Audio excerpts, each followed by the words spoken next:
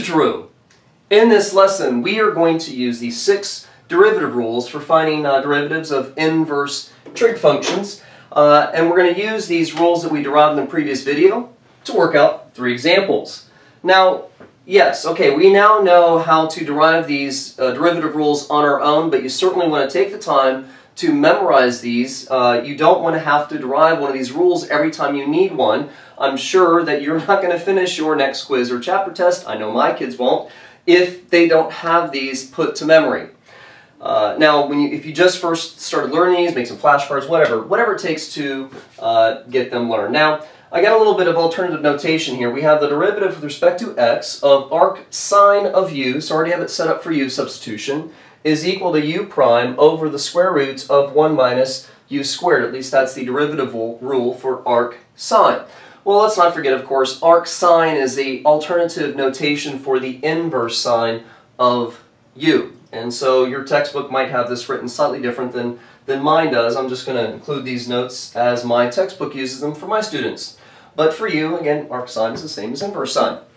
Well, over here we have f of x is equal to 5 times the arc cosecant of 3x. We have a constant out here up front, which we're just going to let float down now. We're probably very used to doing that. And we have an inside function of 3x. So we're going to let u equal 3x, and then the derivative of u with respect to x, or u prime, is going to be equal to 3.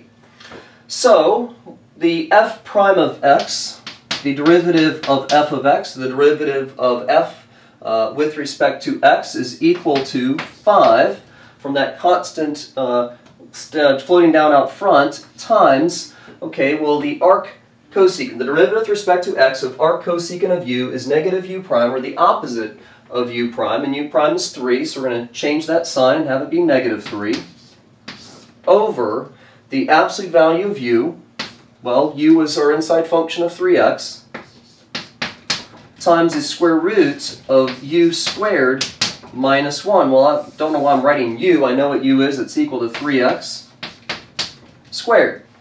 All right, a couple of things here.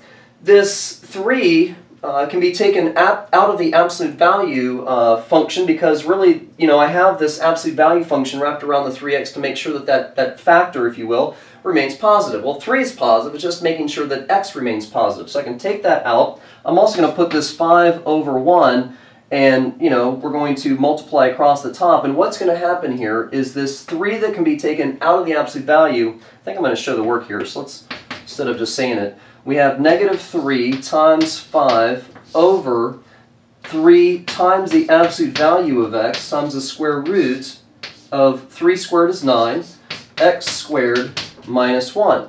Well, now the 3's are going to cancel out, of course, because we can cancel out factors, not terms, not something that's being added or subtracted to something else.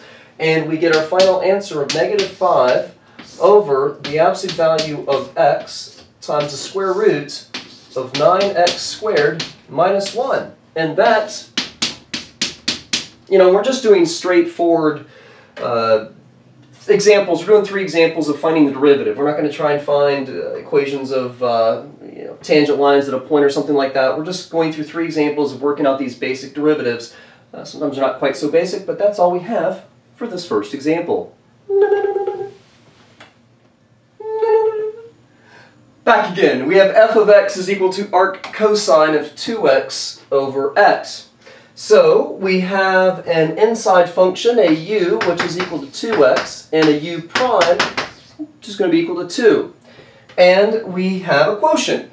So we have to use the quotient rule for finding the derivative. So uh, we got f of x is equal to uh, what we have here, so that means that f prime of x is going to be equal to, uh, well, the quotient rule says let's take the denominator, and multiply by the derivative of the numerator. Well, again, the derivative of arc cosine of u is the opposite of u prime over the square root of 1 minus u squared.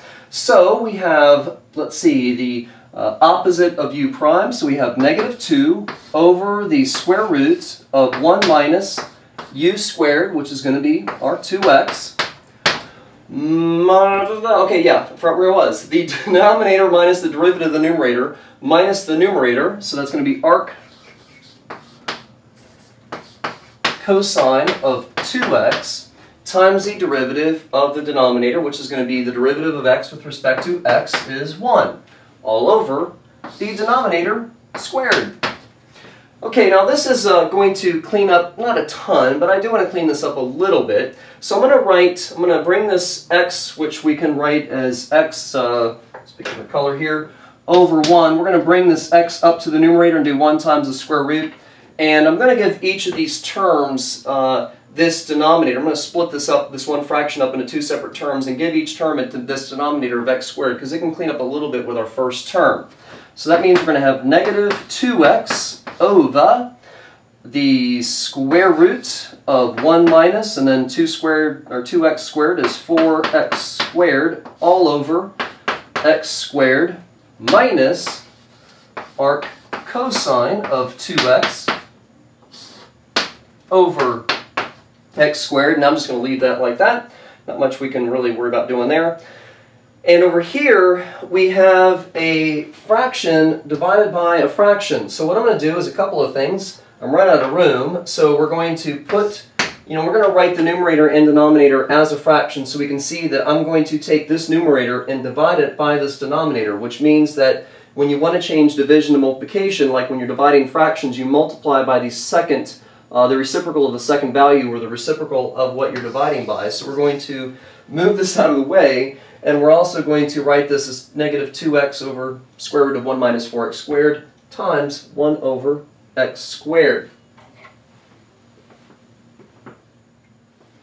So again, we change that division into multiplication by the reciprocal, and our factors of x and x squared, uh, well, that 1x can cancel with one of those two in the denominator, just leaving us with x times the square root of 1 minus 4x squared. And don't be tempted to take this x and cancel it with one of these x's down here in the denominator. This is not arc cosine times 2 times x. That 2x, of course, is in that math function, so nothing else is going to cancel. And I'm done with this example. One more.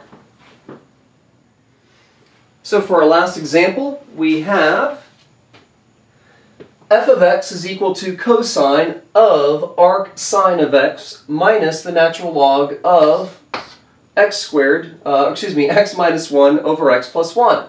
So a fairly complicated problem here at the uh, end, and unless you take it in small pieces, maybe it's not too bad. We have an inside function here, our u is going to be for cosine, is going to be arc uh, sine of x, and we have the natural log of a quotient. So we want to split this up, we want to expand that natural log function. Uh, so I've got a, I've added one more derivative rule up here for us. The derivative with respect to x, so the natural log of u is u prime over u. So we have f of x is equal to the cosine of arc, actually for uh, purposes of space, I'm going to write this, the cosine of the inverse sine of x minus the natural log of x minus 1. Uh, now, when you take the natural log, like uh, when you take the natural log of a quotient and you want to expand it, uh, you need to remember, let, us see here, uh, we, we, we get basically exponents from logarithms, and when do you subtract exponents? When you're dividing like bases, and our like bases basically are, are, are base of e for this natural log function. So Again, we subtract exponents when we're dividing with like bases, and logarithms are basically an exponent. When you log a value, you get an exponent. So it's this natural log of x minus 1, which we can we need to think of as an exponent, because uh, it's, you know, I'm, I'm logging something to a particular base, and you get exponents from logarithms. So it's going to be natural log of x minus 1 minus the natural log of x plus 1. Now I know that when I take this 1 term, this natural log of this quotient, and expand it, I'm going to get two terms, which means I need to take this negative sign and wrap uh, basically this expansion inside the parentheses so we remember that we need to distribute this negative sign. If you don't do that, then you're going to do a lot more work to this problem and you're going to have it wrong. So we have f of x is equal to cosine of the inverse sine of x minus the natural log of x minus 1, and negative times negative is positive, or plus the natural log of x plus 1. Okay, well for our problem here, we have, you know, we know the, the derivative of cosine is negative sine. of x, but we have an inside function. So we have u is equal to the inverse sine of x, or arc sine of x, and that means that u prime, or the derivative of u with respect to x, is going to be, uh, well, x, and so that's just going to simply be 1, because our u substitution, basically now I'm, I'm looking at this and I've given you rules or derivative rules for inverse trig functions as and set up already in terms of uh, u substitution. So our u is sort of like our x. Anyway, so it's that inside function, you know, the derivative of it. Well, the derivative of, of x with respect to x is 1 over 1 minus u, which is, uh, for this simple inverse sine of x or arc sine here that we have, is just going to be x. Okay, so take this nice and slow, don't make any mistakes. f prime of x is equal to uh, the derivative of cosine is negative sine.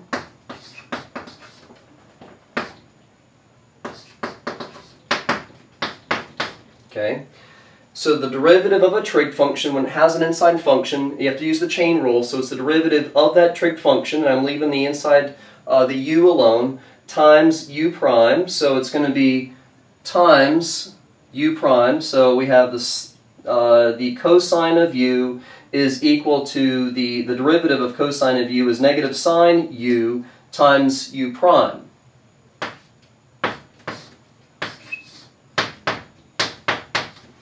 Minus the derivative of the natural log of x minus 1 is going to be, well, this sort of inside function is x minus 1, and the derivative of x minus 1 with respect to x is 1, so it's going to be uh, minus 1 over x minus 1 plus and the derivative of this inside function, right, the u prime over u, so here this sort of like u sub 3, if you will, is x plus 1, and the derivative of x plus 1 is 1 over x plus 1. And I'm also have a lot more simplifying to do with this problem, and I'm running out of space. So again, let's get this green board out of the way.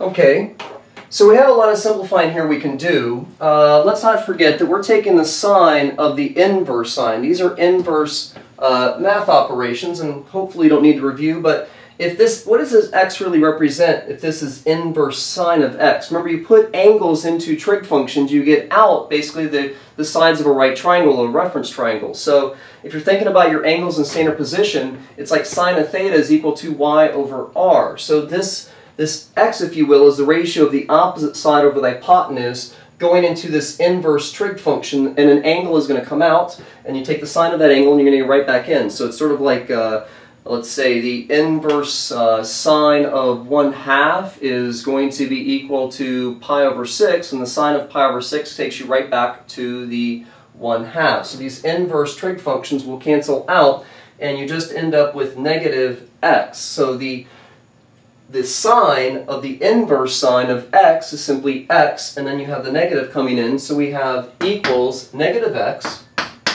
over the square root of 1 minus x squared, and I hope now by the time you're in calculus, my Algebra 2 students, my pre-calculus students are always trying to, you know, oh, these are both perfect squares, so it simplifies to 1 minus x, and no, it doesn't. So hopefully we're not making that mistake still. So that's, uh, this here is our first term simplified. Now, I want to combine these terms over here, this 1 over x minus 1 and this 1 over x plus 1, but to, um, to simplify the process a little bit, I'm going to let this negative sort of float up to the top and change this to an addition, an addition of a negative number. So plus negative 1 over x minus 1 plus 1 over x plus 1. Now I want to bring these two together and we'll, we'll be done with this video, so we need to find a common denominator, which means I'm going to multiply this fraction by x plus 1, and this fraction by x minus 1. Yes, I got that over there. And that is going to give us negative x over the square root of 1 minus x squared. Actually, you don't really need to see me talk through uh, probably adding a couple algebraic fractions. Let's speed this up a little bit.